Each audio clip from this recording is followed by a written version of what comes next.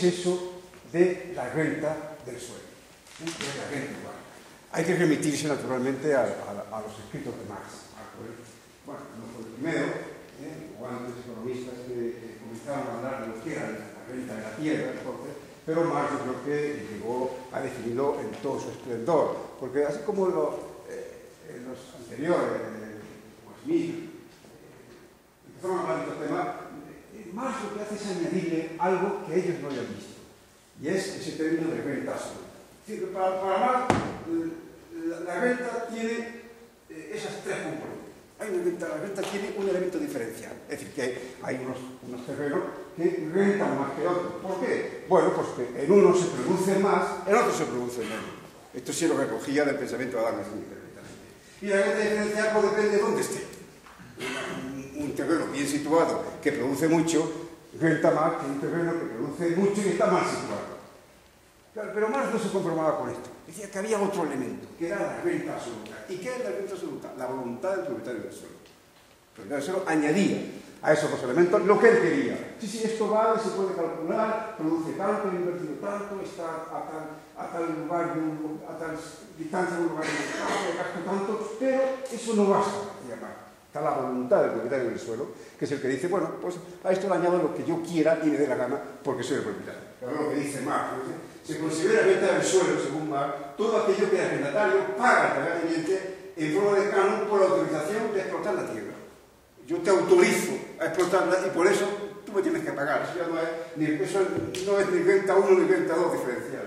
Dice, donde quiera que las fuerzas naturales son monopolizables y aseguran al industrial que las emplea, una ganancia excedente de un salto de de una mina, de aguas abundantes, de pesca y tal, de solares bien situados, eso lo dice Marx, ¿eh? aunque él no, no estudió eh, con detalle la renta del suelo urbano, pero ya, ya hace hincapié en el solares, solares bien situados. Y allí nos encontramos con que la persona que por título sobre una porción del planeta, por título, porque es propietario, puede alegar un derecho de propiedad sobre estos objetos naturales. Se apropia esta ganancia excedente y se la sustrae al capital activo de forma de esto fue lo que introdujo Marx. Esto es muy importante, porque esto es lo que nos hace comprender por qué vale el suelo lo que vale. Eso no se puede calcular, no, es una, una fórmula, porque luego está la voluntad del propietario que perfila lo que él quiere y exige lo que él quiere. Entonces, estos tres factores sumados son los que dan la renta a percibir por el propietario. De la certeza hay al vigilar el futuro. Pone este ejemplo Marx en el libro tercero del, del, del Capital, el último capítulo. Él habla, por ejemplo, de que hay un momento que coincide además con los, pone este ejemplo, de los escuelas en Londres. Dice que, claro, los escuelas que son, pues son unos terrenos que son propietarios de un lord fundamental, un aristócrata, y los cede a un propietario, a un, emprendedor, que quiere construir y bueno, quiere explotarlo. Los cede, tiene un derecho de superficie. O el propietario no pierde la propiedad, sino que hace un contrato con el emprendedor, que tiene este terreno, por 100 años, 99 años, yo lo que se llama en, términos jurídicos el contrato de ICTUSI. Y cuando pasan esos 99 años, esa propiedad construida vuelve al propietario. Con lo cual, el propietario no solo no ha perdido, ha exigido un cambio anual por, por haber cedido esa tierra, sino que encima ha, ha heredado, dijéramos, o eh, ha, vuelto a su mano una tierra que está, está construida. Ha, ha, ha, vuelto pues, la propiedad a su mano enriquecida. No ha perdido absolutamente nada, ha ganado todo.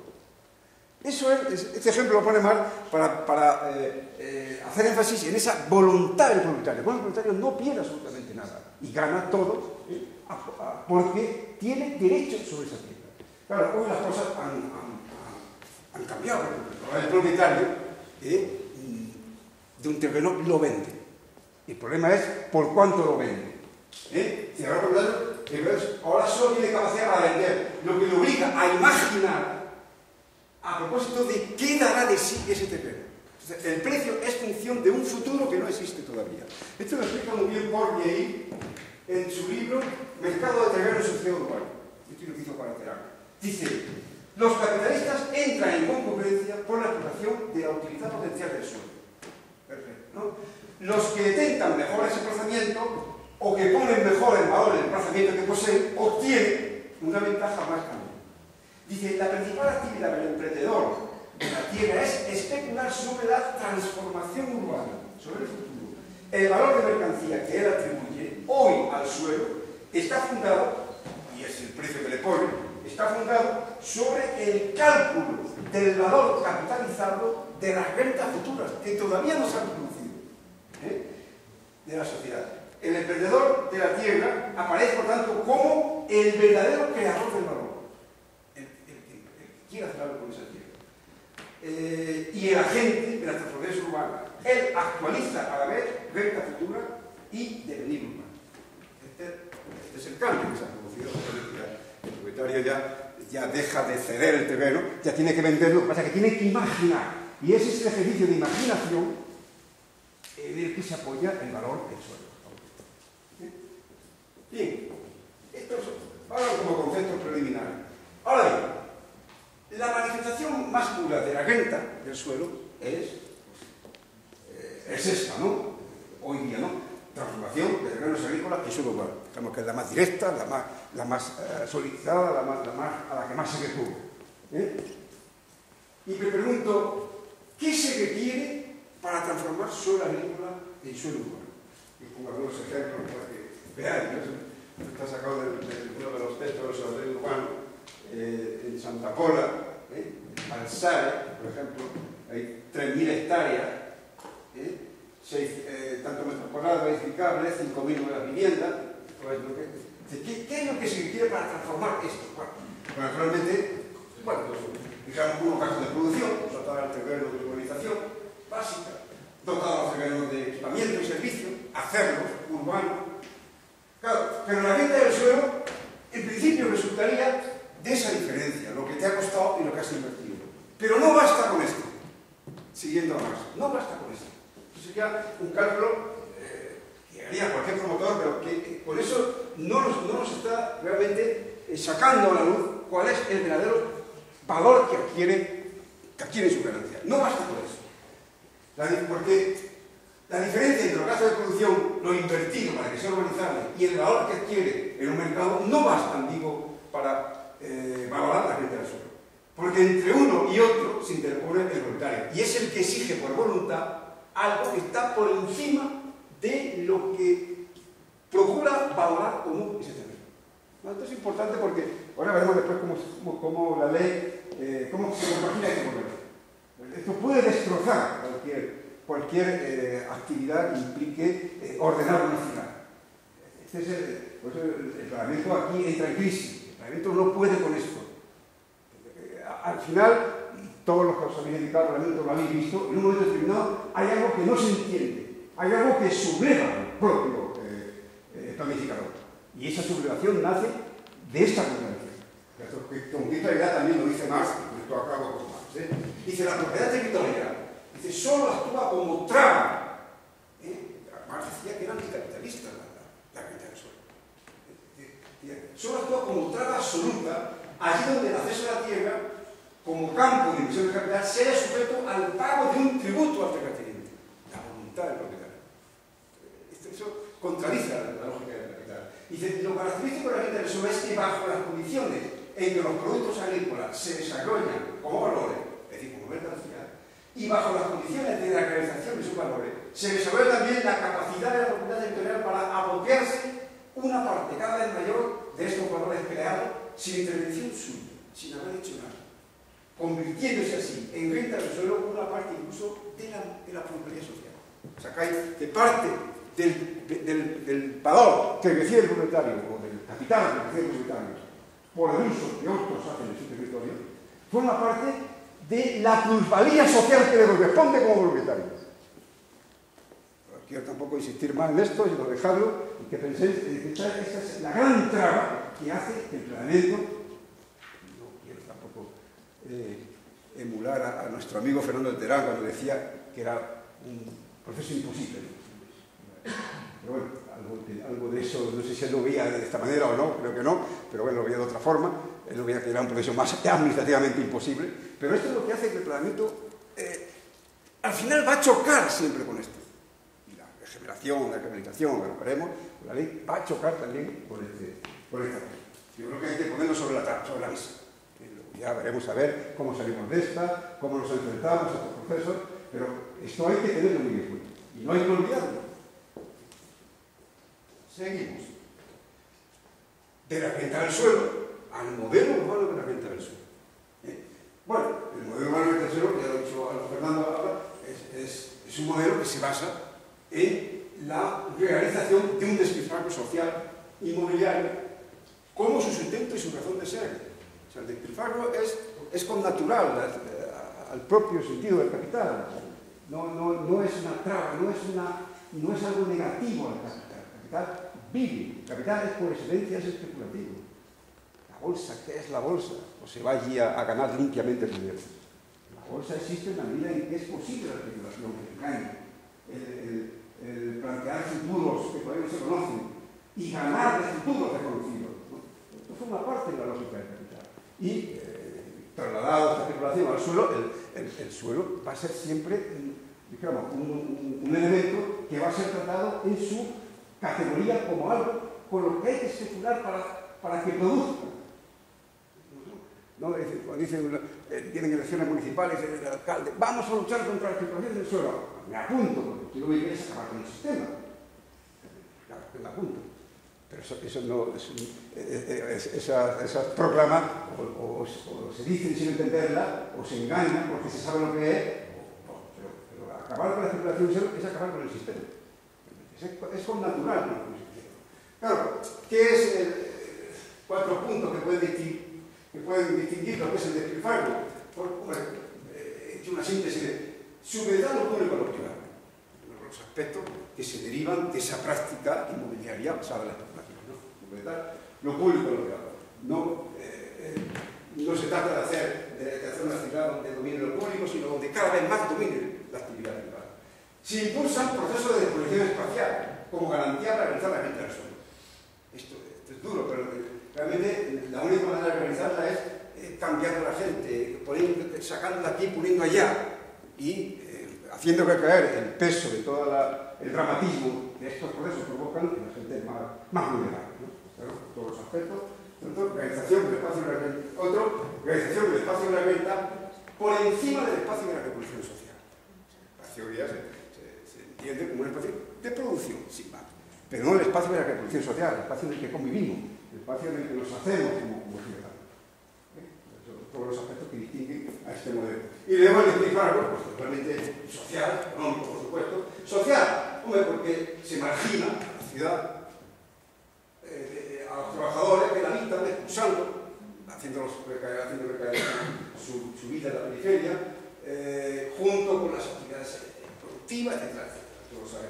Y ese despilfarro también es económico porque eh, incide en la destrucción de aquello que es útil, que está bien físicamente, pero que no produce la renta que produciría si diese paso a otro tipo de mercado.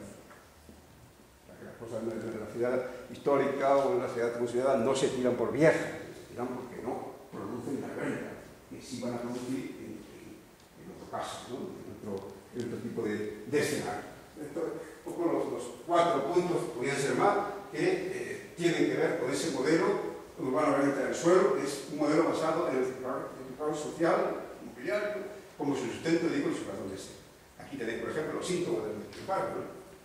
Tú estás sacando también de los libros de observatorio, de vivienda y suelo, son las viviendas que se han construyó en España de 2000 hasta 2012, el máximo eh, se produjo, como sabéis, en el 2006, 700.000, males de vivienda e Bendicañeira habilitada e onde estamos bueno, un poquito máis bajo agora 57.000 a 7.000 a espectacular e como ha bajado e a, tamén é moi interesante porque é un gráfico que dá que compara las viviendas previstas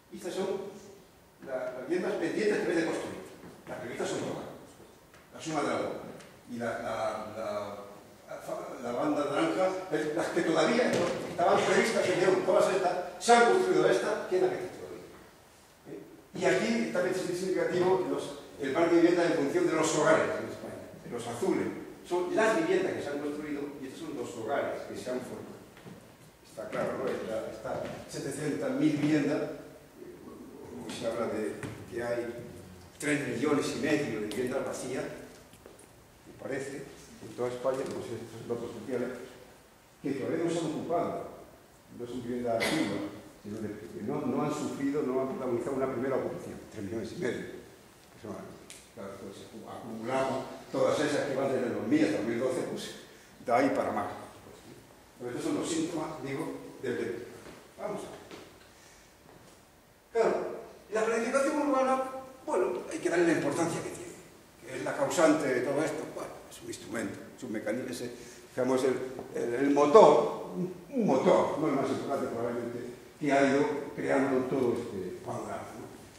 Eh, es la que, bueno, ha tratado de sancionar pues, ese modelo de la el del suelo, y orientándose, en principio, por una serie, por una serie de puntos. O sea, la planificación urbana en estos años se ha basado en que eh, se preveía que el crecimiento demográfico pues, iba a ser grande. Había una expansión de población importante, un crecimiento demográfico que se pensaba aumentaría. Claro, si por eso pues, ha sido el justificante, o el argumento, mejor dicho, el argumento ideológico que han, ha dado lugar a este, a este panorama que ha desembocado en la situación actual. ¿no? Eh, recuerdo ahora, me viene a memoria cuando se empezó a construir la, la goma como capital, a partir de 1870, que empezó, empezaron a, a plantearse viviendas, viviendas, viviendas, se crearon, muchas zonas eh, eh, dentro todavía del territorio histórico y fuera también, pensando en que iba a llegar a Roma un millón de personas. Nunca llegaron. Y Roma se quedó vacía. Roma sufrió una crisis inmobiliaria a finales del siglo XIX Práctica por ejemplo, el barco que está cerca de, el auto del Vaticano, eh, es un espectáculo como lo describe Zola libro Roma, ¿no? como casas que estaban a nivel destruir, ya en ruina, eh, ventanas que se estaban colocando, pero que la crisis las la, mandó al suelo. esa idea de, de, que viene gente, que viene gente y hay que crear viviendas. Es un argumento que se utiliza, como se utilizó en Roma, como se utiliza ahora. Pero, pero bueno, que la planificación está basada en eso. El segundo aspecto, el segundo aspecto pues, la planificación también se basa y, y, y digamos, impulsa el proceso de expulsión de vivienda habitante y determinadas actividades productivas, aquellas de ciertos lugares de la ciudad, sobre todo las zonas históricas, aquellas que con su presencia pues, impiden la realización de la vida. Eso es otro de los fundamentos que echa mano la planificación. Hay que, hay que eh, eh renovar esta zona. La, planificación ha sido, hemos Claro, hemos hecho mucho caso a la planificación asiento para extender La planificación ha servido a veces más incluso para, para renovar la ciudad con la que se fundó. La clase de renovación ha sido espectacular. Desde el siglo XIX, comentábamos también a la hora de comer, ¿no? Como eh, los, los procesos, la, los centros históricos actuales son ciudades del siglo XIX, fueron demolidos materialmente en la segunda mitad del siglo XIX y principio del XX. Y las ciudades también se empezaron a atender por supuesto, y ya si que duro. Pero yo no sé, a veces dudo si los procesos de regulación no han sido más fuertes incluso que los procesos de extensión de la ciudad. O por lo menos, si no, si no más fuerte en su extensión, porque estaba más limitada más fuerte para que se viera la importancia y a la influencia que han tenido en el desarrollo probablemente. ¿Eh? Pero bueno, pues esto ha sido también un aspecto de la planificación que se ha impulsado. ¿eh? Eliminar zonas que no contribuían a esa creación de la renta, que no contribuían a la, producción del espacio de la renta. pero que sí estaban ejerciendo del espacio de la reproducción social. ¿Eh? Esa era su desgracia. Estaban ejerciendo como lugares donde se desarrollaba la vida, pero no donde podía desarrollarse eh, eh, la renta, como espacio de la renta. Y eso es lo que ha hecho que se transformase. Y, por supuesto, eh, Claro, porque ahí se asentaban actividades inversiones que impedían esa valoración. Este asentamiento de actividades personas es lo que constituía el espacio social, el espacio de regulación social, y eso había que eliminarlo. Y por supuesto, la, eh, afectado a los centros históricos, es el tema que más nos preocupa ahora de este curso, pues, la conservación, recuperación, puesta en valor del centro histórico, en general, de los parques tradicionales, ha sido, se ha planteado eh, como práctica elitista eh, eh, dijéramos, haciendo esos lugares pues, aquellos espacios desde los cuales se, eh, dijéramos, se eh, expresaban los productos de consumo de masa. Por eso digo que, los procesos de renovación que ha sufrido la ciudad desde el siglo XIX hasta ahora han podido ser limitados, pero su importancia ha sido extraordinaria a la hora de definir el nuevo mundo urbano. ¿Eh? Porque eh, yo creo que más importante que la destrucción de grandes objetos históricos es cómo tras esa destrucción se estaba produciendo una, un, nuevo espacio dentro de esos lugares que estaba implicando eh, ejercer, hacerlo ejercer como lugar desde los que se, eh, se expresaban, como digo, los más altos valores de consumo, que son los que imponían el valor a los demás productos de consumo teóricamente más así.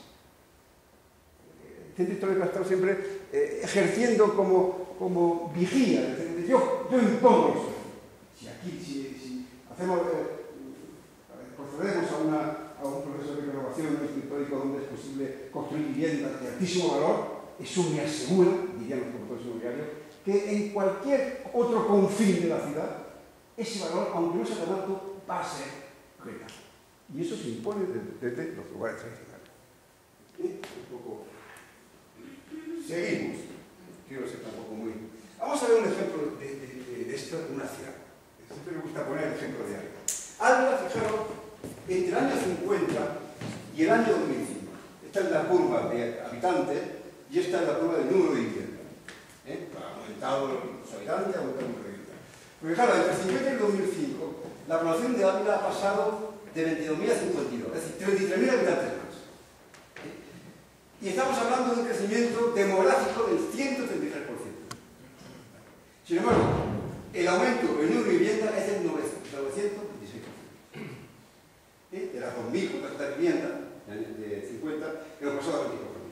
22.000 viviendas para 25.000 nuevos ¿Eh? Bueno, crea conveniente. Estos son los tres últimos planes de Ávila.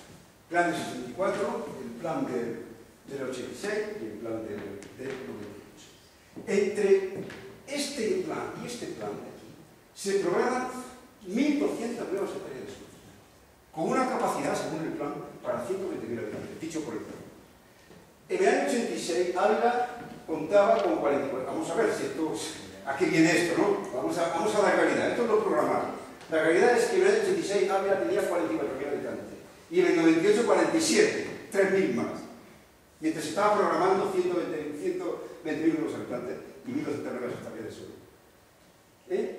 Eh, en ese mismo periodo, ¿eh? entre los 86 y 98, el número de viviendas construidas no pasó de 400 por año. Esta es la realidad. Y están programando 100, eh, perdón, 100, 1997. He dicho... Bueno, está programando, perdón, 100 para 120 mil habitantes. Sin embargo, eh, las viviendas programadas en el plan 98 ascendían a 21.000. Es decir, unos 6.000 habitantes más, 6.000 frente a las nos Esta es la programación, esa es la realidad. Está claro cómo en, en, esto, en esto está presente, está implícito, pero no se ve eh, esa práctica del promotor inmobiliario de imaginar un futuro sobre el cual basar el precio que va a exigir por su propiedad. Y ese futuro es este, pero la realidad es esta. Pero claro, ese futuro está puesto aquí para que eh, esas propiedades eh, vayan más allá del valor real que van a tener. Aquí está imaginar la renta del suelo como un ejercicio de futurismo.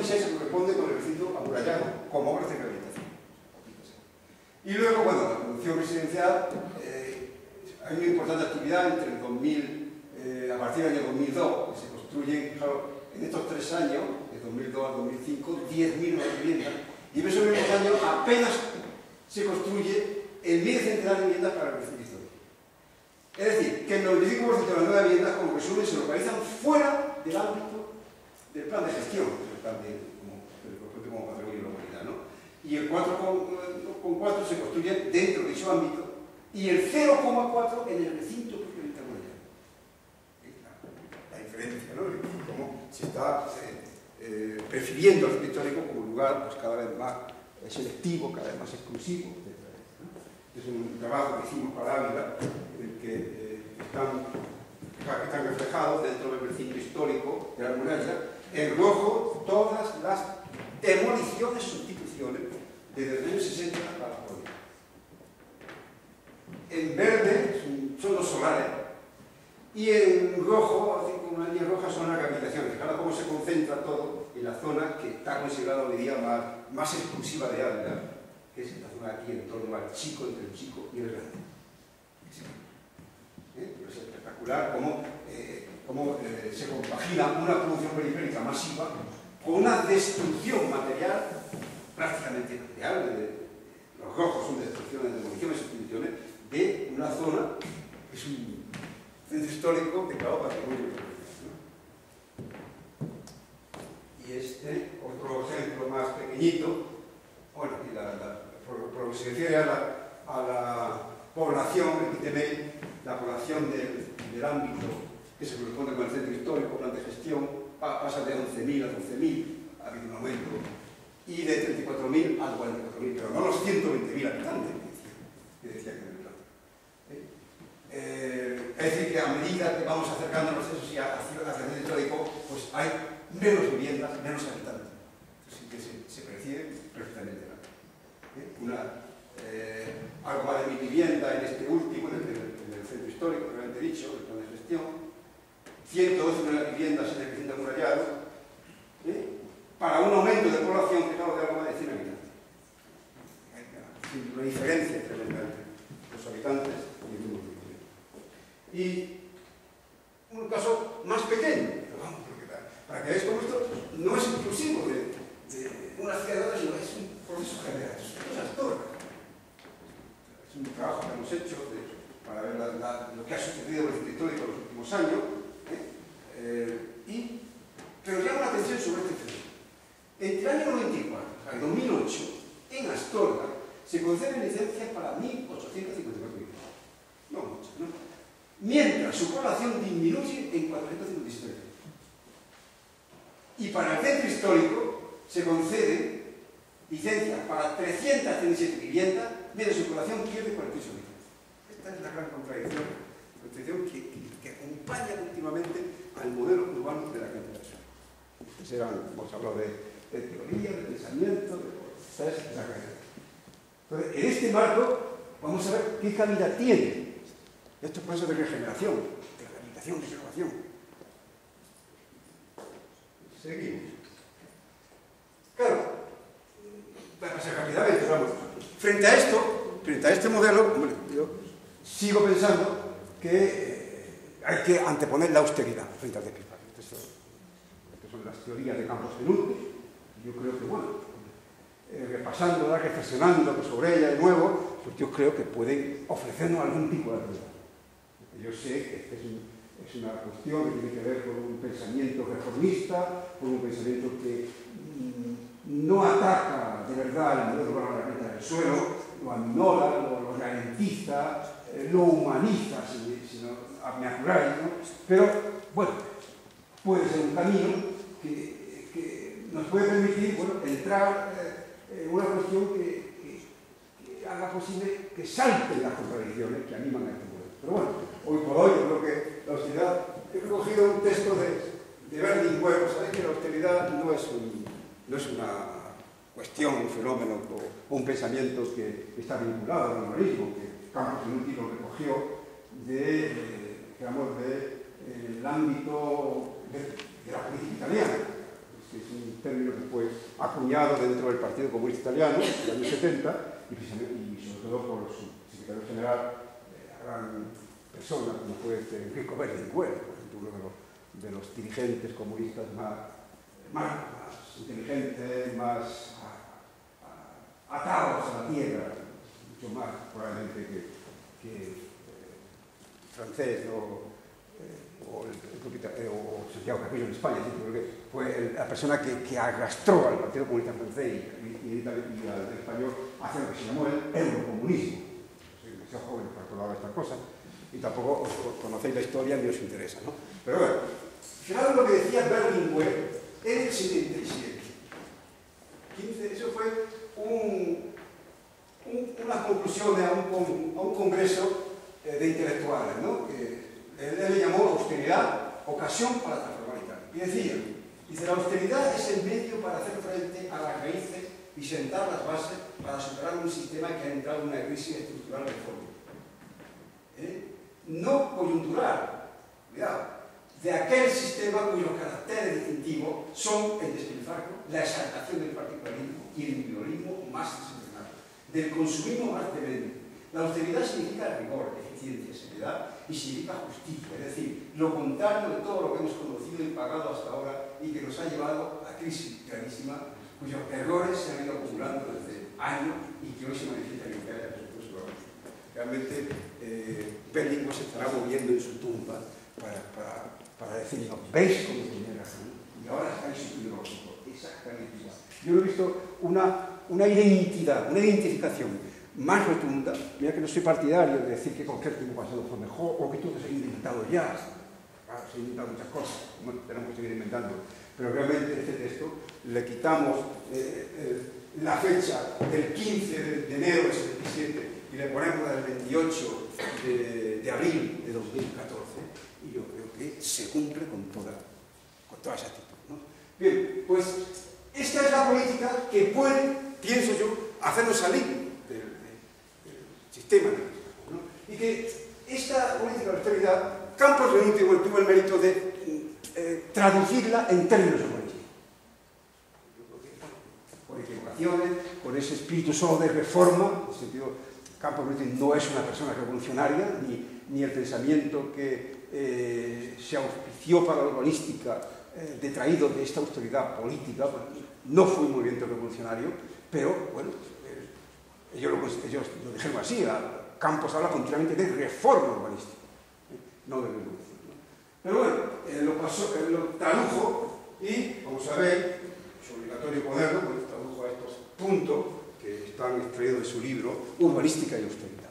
Claro, para Campos pues, hay una serie de de salvaguardia que hai que aplicar a la ciudad y que supondrían eh, desbancar el despilfarro en favor de la austeridad, como alternativa política y humanística.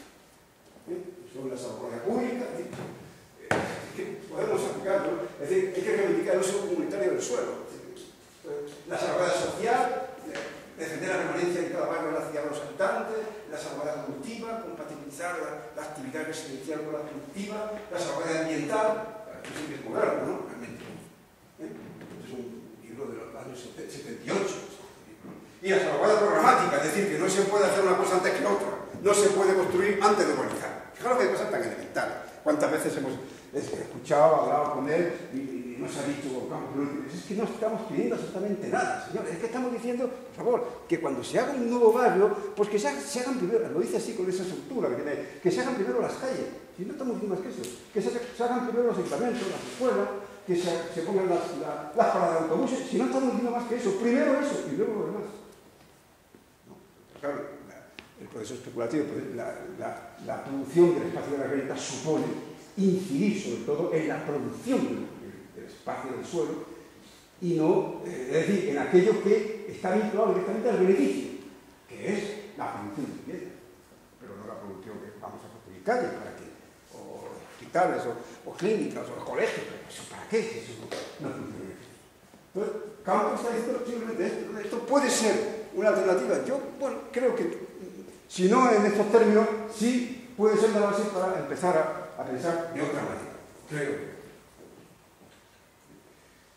Claro, este modelo, ya entramos en tema, este modelo de austeridad, pues yo creo, desde el punto de vista de qué hacer con la ciudad, yo creo que pasa por la rehabilitación. Y me explico. Ver. rehabilitación urbana frente al necesifario extensivo. Bien, como medida también, ¿no? Estos son los, planos que corresponden con el trabajo que estamos haciendo, Víctor, eh, eh, a propósito de la dinámica que estamos operando en los últimos años los universitarios. Pero es el caso de, de ¿cómo se llama? El Medina de Consejo. Eh, digo, eh, Areva. Y se ve, aquí tenemos, hemos marcado en rojo, los, las demoliciones y sustituciones. Fijaros, prácticamente. En rojo cercano las rehabilitación teórica y en lo demás son solares, ruinas y tal. Y se, por ejemplo, este es el, el, plano el que vemos conjuntamente lo rehabilitado, lo más oscuro, con lo que permanece, el patrimonio existente, más lo que se ha rehabilitado. como ha afectado a la parte más antigua de Arevalo, que está vacía. ¿Qué es la que está más vacía? Pues Arevalo, ¿veis? A medida que vamos subiendo hacia las plazas del norte, ¿no? está vacío básicamente. Entonces, ahí es donde más se ha rehabilitado, no sé para qué. Entonces, esta puede ser la alternativa, es decir, rehabilitar.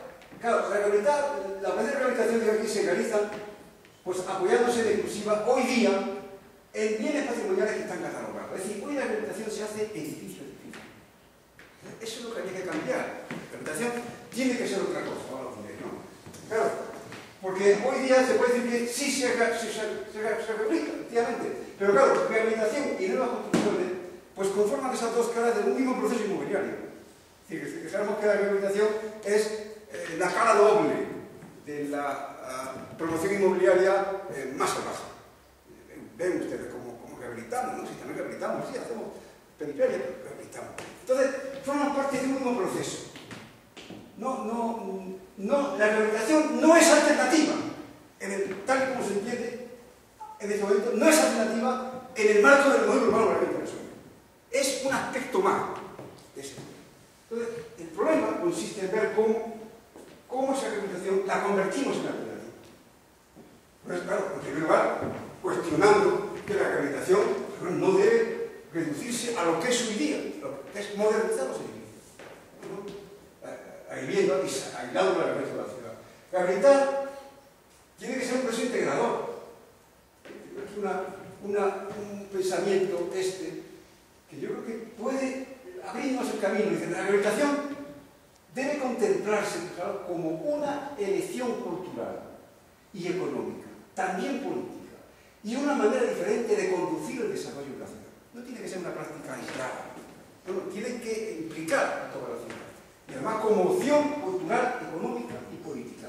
No se puede decir que el objetivo de la rehabilitación se afirme como espontáneo, como es ahora. Rehabilitamos aquí, y allí, no se sabe por qué. No, no, no tiene que ser una cosa espontánea. Tiene que afectar a toda la ciudad. Que no se puede decir eso, sino que pueda ser considerado como un programa No es un programa Hoy día es un programa más. Entre otros, por ordenar la ciudad.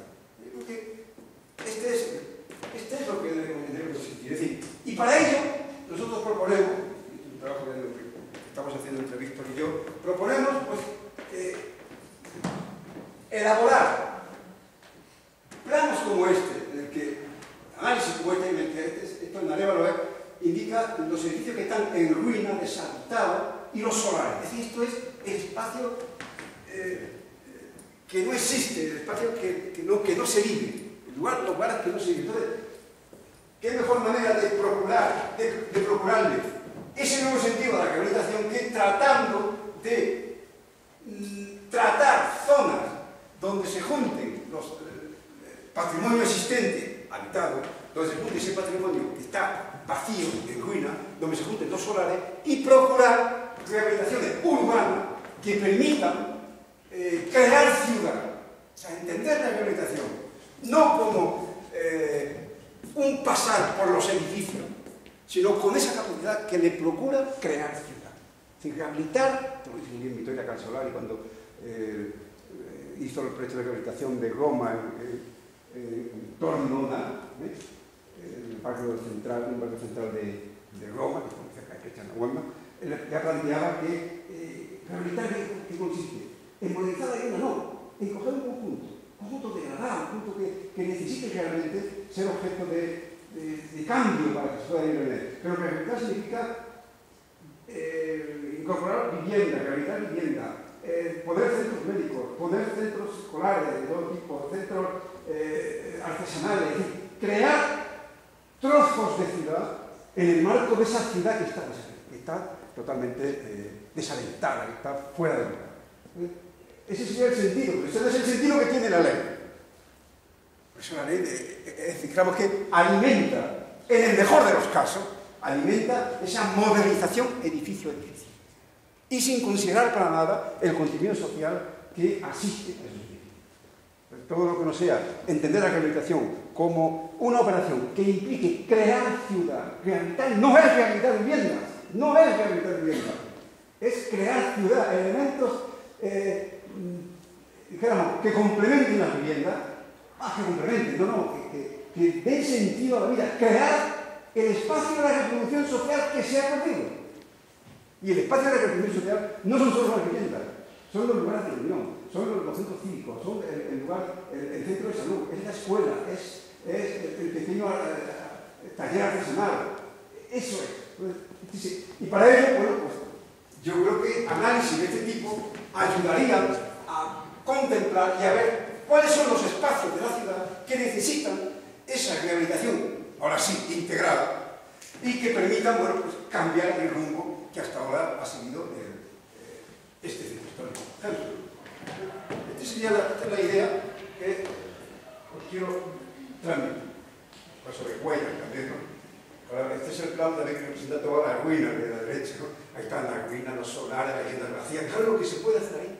Entonces, partiendo ese patrimonio, está eh, fuera de uso, que ya no, ya no ejerce ninguna función social, pues procurar crear, recrear ciudad en calidad, eh, vamos, para llegar a, a, a ese, a esos lugares su capacidad para reproducir socialmente procurar el espacio de la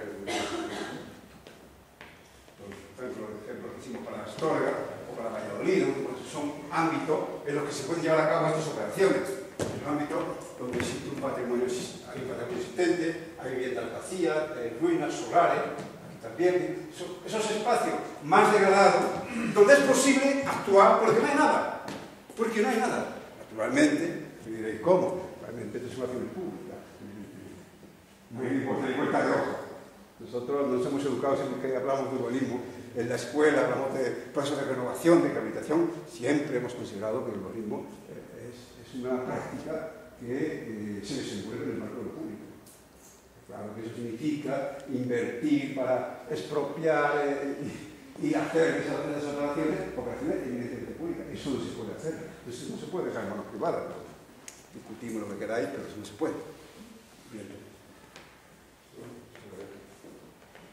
Bueno, La ley actual del 26 de junio es el marco adecuado para proceder a una alternativa semejante. Yo creo que no. ¿Por qué? Porque en la ley no se renuncia a considerar el sector de la construcción como referente de la, de la economía española. No se renuncia. Aunque no se enfoque de forma prioritaria hacia la transformación urbanística, de eso y, lo que dice la ley hai feito que acabar, non hai que... pero aún así la, la construcción se enfoca no hacia la transformación urbanística de suelos vírgenes y la construcción nueva, por ahora, no hay manera, sino que la enfocan hacia eh, la intervención que no existe.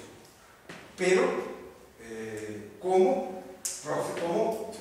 Con la idea, pienso, de fomentar el sector de la construcción. Segundo lugar, porque entiende que este cambio de perspectiva debería ir acompañado de una reconversión de otros sectores, entre ellos fundamentalmente turísticos. Se hace mucha insistencia la ley. Actuar sobre lo edificado, rehabilitándolo, regenerándolo, renovándolo, procuraría nuevos escenarios urbanos capaces de impulsar por su eh, reclamo de consumo nuevos valores turísticos. Se especifica el derecho El problema del turismo es, eh, está, eh, digamos, volando el espíritu de la ley, de.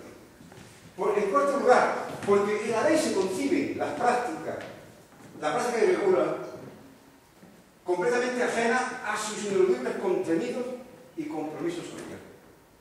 Ángel ha hablado de que aquí en Castilla se quiere eh, solventar este aspecto. La ley estatal no se habla Para nada se tienen en cuenta las repercusiones sociales que necesariamente van a derivarse de los procesos de cambio y someter a los ámbitos Para nada. Remito a la ley, nacional. Sigue diciendo. En ausencia de regulaciones que tengan en cuenta estas repercusiones sociales, sin embargo se insiste en aquellas otras que tienen que ver, por ejemplo, con la eficiencia energética y de recuperación económica. Claro, que va a permitir, dice la ley, contribuir activamente a la sostenibilidad ambiental, a la cohesión social y a la mejora de la calidad de vida de todos los ciudadanos en el espacio difficile, eficiencia energética. Bueno, yo no digo que no haya que, que estar atento a esos problemas, pero no es eso fundamental. que una eficiencia social. Yo creo que, eh, eh, no sé, una casa bien habitada, como decía Giovanni Stein, una casa bien habitada garantiza su conservación.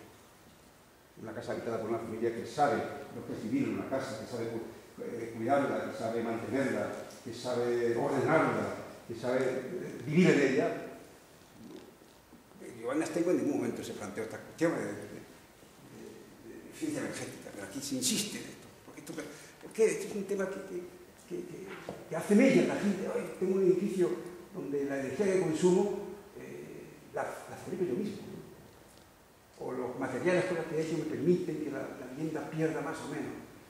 ¿Cuánto costará esa vivienda? No creo que sea un problema. Estos problemas distraen realmente la cuestión. Lo único que no es muy importante, pero distraen importante. Y todo ello, claro, aquí está el problema. Todo ello sin modificar el modelo urbano que nos asiste, el modelo urbano del suelo. Esto es posible sin modificar el modelo urbano del suelo. El modelo urbano va a seguir gestionándose como hemos visto en ejemplos anteriores no haciendo responsable a este, al modelo, de las cuestiones que tienen que ver con la sostenibilidad. Que hace que una, vivienda no sea energéticamente efectiva o que no sea sostenible, no es la vivienda en sí.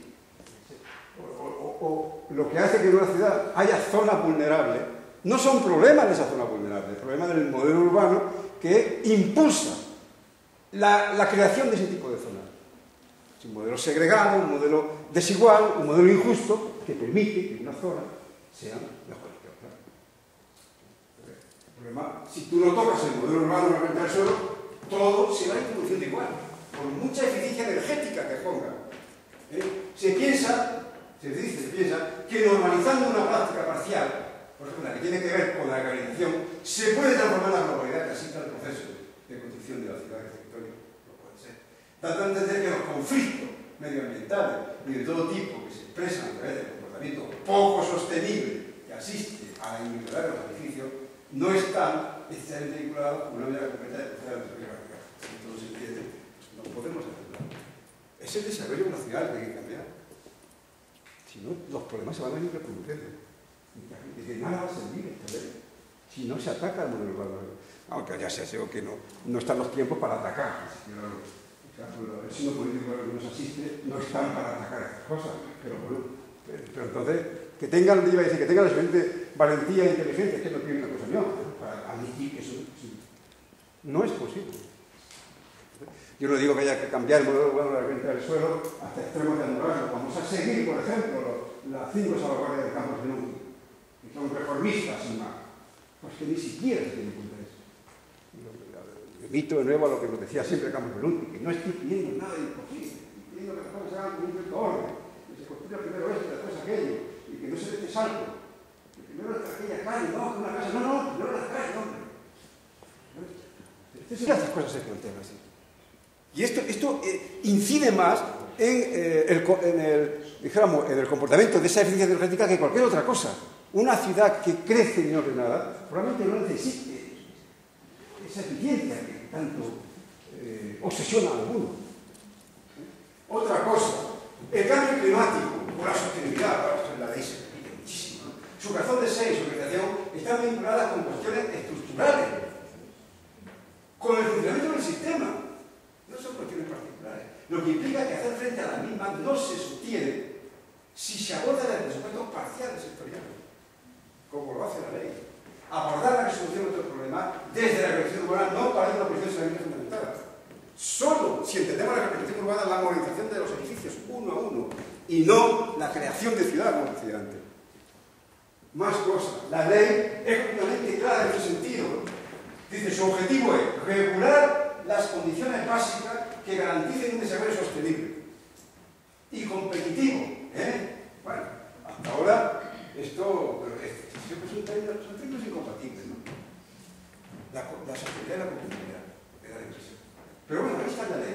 Regular las condiciones básicas que garanticen un desarrollo sostenible y competitivo del medio urbano, así como el impulso y fomento de las actuaciones conducentes a la regeneración de los territorios urbanos existentes. Y todo esto parece posible, según la ley, manteniendo activo el del suelo. Más cosas. La ley solo está interesada en la resolución de determinados aspectos constructivos que afectan a la edificación existente, siendo uno de sus objetivos al relanzar bajo otra perspectiva el proceso de construcción de la ciudad, confirmando el nuevo valor de la asegurándolo desde el ámbito concreto de la rehabilitación, por cuanto se piensa que el sector de la construcción puede relanzarse desde la práctica inmobiliaria que apuesta por la del sistema. Una síntesis que yo haría de la ley. Bien, y así lo confirma la ley porque parece que dice, amplía las facultades reconocidas a las comunidades de vecinos, agrupaciones de propietarios y cooperativistas de vivienda para actuar en el mercado inmobiliario con plena capacidad jurídica para todas las operaciones. cómo están? Eh, siguen con el modelo inmobiliario. ¿eh? Incluida la crediticia, relacionados, no sé cómo, relacionados con el cumplimiento del deber legal de conservación e introduce los instrumentos de gestión y los mecanismos de cooperación interadministrativa que tienen por objeto fortalecer el marco en el que se desenvuelven. Y luego, localización de... Ah, bueno, esto me ha llamado mucho la atención, mucha atención también la ley, y una pregunta que tenía para Ángel, muchísima atención. Cuando habla que la ley parece más un instrumento para fomentar y buscar nuevas salidas de esa producción y una ley que una alternativa al mismo. No es verdad. Y dice, habla, por ejemplo, de contribuir, como se dice la ley, a que estas operaciones de creación favorezcan, dice, la organización de actividades de contenido económico generadoras de empleo estable, especialmente aquellas que facilitan el desarrollo de la investigación científica de la tecnología. Parece un sueño, ¿no? Integre en el tejido urbano cuantos usos resulten compatibles con la función residencial, especial valoración de la perspectiva turística, fomentando el uso de materiales, productos y tecnología limpia, mejorar el uso turístico con responsable. Claro, Esto no es más que una muchas formas de proceder al impulso también de la exclusividad Y luego la ley, acabo, son eh, eh, entre los esfuerzos públicos y privados que se legitiman para participar, están, por ejemplo, los propietarios de terrenos, el nuevo propietario del suelo, los, las, las construcciones, edificaciones y fincas urbanas, y los titulares de derechos reales, de aprovechamiento, todo un elenco de agentes que no tienen por qué estar implicados realmente. Como ciudadanos en esas operaciones, no están al margen de ellas. Claro, estas implicaciones responden más a intereses inmobiliarios y menos a compromisos derivados de la acción emprendida en Y ya dos cosas más, dos cosas más, porque si no, no, no tiene... Y se entiende eh, bueno, habla de los agentes que operan que se les permite, por ejemplo, actuar en el mercado inmobiliario con plena capacidad jurídica para todas las operaciones inmobiliarias constituir asociaciones, ¿Dónde ponía otra cosa, otorgar escrituras públicas, se benefician, se benefician de, de, de la protección de aquellas partes del piso local, del edificio destinado, generalmente a uso de vivienda, es decir, puede ser gente ajeno al lugar que está rehabilitándose. Y también establece actuaciones de rehabilitación discretoria, obras de mantenimiento en los edificios existentes, actuaciones de recuerdo, que entiende por regeneración, eh, rehabilitación y define.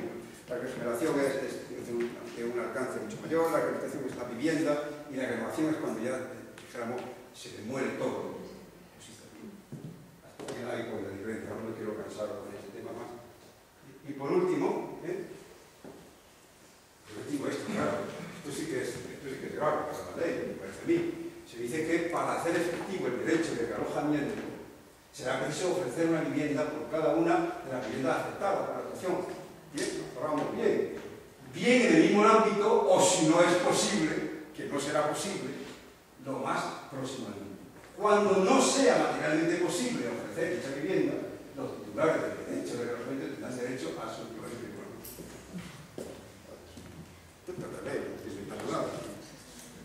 bueno, acabo. Acabo. Esto, la imagen que me ha proporcionado Juan Luis. Es decir, que mientras sigamos pensando que la ciudad puede seguir extendiéndose, que la ciudad puede ir programándose fuera cada vez más, no se puede eh, llevar a cabo prácticas de rehabilitación, regeneración, renovación, cambio. No se puede unos datos que me ha citado Juan Luis, el Valladolid del año 2003 todavía, en el último plan, que se proponía 17.000 hectáreas, 39.000 nuevas viviendas, 19.000 pendientes todavía. Esto es incompatible. Y esto lo dice el plan, lo que han hecho el plan de Valladolid, pero lo dicen también los americanos. Yo haciendo una, una cosa que he quedado corto. Y más, me parece conveniente acabar con esto. Esta es la ciudad de Columbia, que se, eh, se planificó en el año 62 entre Baltimore y Washington. Ahí está, en medio. Entre Baltimore y Washington. Y esa, el, el, el planner fue Morton Hopkins. Y en el año 72, el artículo debe ser el 71 porque este, artículo aparece, se llama El Progreso de Columbia, el potencial de nuevas ciudades aparece en el libro de Lewis, El crecimiento de las ciudades, de Barcelona Gustavo Gili, la serie está molada. Este se publicó en el 72, se tradujo al castellano en el 72, pero el, trabajo, el artículo del 71, más o menos, el el inglés, el muerto de Hopkins. Y él, esta es la, ciudad modelo, la nueva ciudad modelo de Estados Unidos, una de las ciudades modelo de Estados Unidos, la multiprama en ese sentido. Y fijaos lo que dice, perdón, sospechoso, dice, Colombia nunca fue concebida como autosuficiente. Nunca fue concebida como autosuficiente. En todos los sentidos, esta está, está integrada de forma fundamental en la vida socioeconómica del condado de Howard, que es donde el condado donde está la y de las grandes metrópolis de Washington y Baltimore. Ahí te. Dice, se espera que se convierta en un tercer gran núcleo a mitad de camino entre los gran, las dos grandes ciudades, Baltimore y Washington. No seremos capaces, dice, de replantear nuestras ciudades centrales. Lo que está pensando en que la renovación, la renovación en Estados Unidos ha sido un fenómeno mucho más importante que la extensión ciudad. Muchísimo más importante. Ahí sí que, yo decía antes que en España en Europa ha sido importantísimo el proceso de renovación, al menos en su cualidad, en su calidad, en, la importancia que ha tenido con respecto a la, a la, definición de un nuevo de ciudad, no en su dimensión, probablemente, en su extensión, pero, pero en Estados Unidos ya ha sido fundamental. No hay ciudad en Estados Unidos, no, la downtown, Aí a tenéis, entón son transformaciones que se han hecho de forma radical a partir 60, 65, Boston parece que foi en 62, 63, no parte foi arrasado todo, un centro histórico, ah, unha ciudad histórica, unha ciudad tradicional moi importante, la de Boston, non queda nada. Ha sido moi importante. Por eso, claro, es que está pensando, está haciendo una nueva ciudad, pero está pensando al mismo tiempo en el, en el replantearse, replantearse nuevas ciudades, la ciudad central. Dice, no seremos capaces de replantear las ciudades centrales como si fuera el objetivo fundamental de Estados Unidos. Eso es verdad. A menos que construyamos al mismo tiempo nuevas comunidades que acompañen, que acompañen la, a la renovación urbana. O sea, que esta ciudad de Colombia no es un invento de nueva ciudad, no, no es que es necesario porque nuestro objetivo es renovar el centro de la ciudad. Que acompañe. Cualquier política con sentido para reconstruir nuestras ciudades, insisto, reconstruir ciudades, debe tener necesariamente como complemento, como complemento, una política de desarrollo de nueva ciudad. Esto lo dice, no sospechoso de nada. ¿A qué voy con esto? Claro, está claro la, la relación que hay entre la necesidad de reconstruir las ciudades existentes y complementar necesariamente esa reconstrucción con la creación de una ciudad que no van a ser autosuficientes. Hay una relación muy, muy estrecha entre renovación, que es lo importante, y construcción de nuevas propiedades. Bueno.